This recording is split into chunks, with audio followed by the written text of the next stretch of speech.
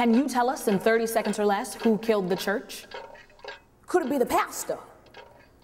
No, no, it couldn't be the pastor. Could it be the devil? No, no. Could it be the congregation? No. Come see the new hit play that's inspiring audiences from coast to coast. Who Killed the Church?